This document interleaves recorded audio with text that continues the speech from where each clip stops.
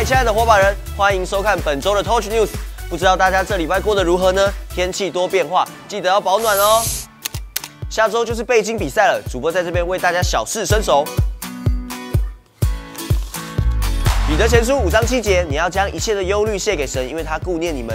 不知道各位火把人是否都倒背如流了呢？如果是团体组，你们一起唱出圣经目录歌的话，还可以加分哦。各位火把人，千万不要放弃，加油！背经就是吃神的话语，把神的话语放进心中。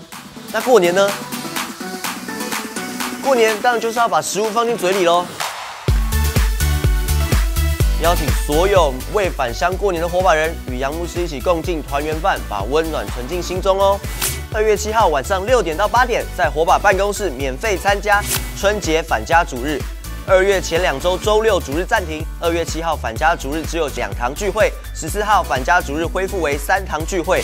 春节教会公休日期为二月五号到二月十五号。除了返家主日以外，教会办公室皆不对外开放，请收听每日线上晨更哦。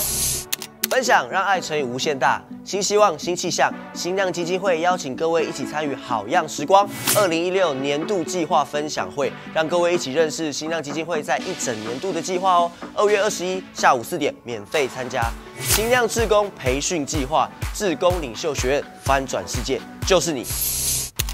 祷告是信心的健身房，下周四晚上永不放弃祷告会之信心之夜。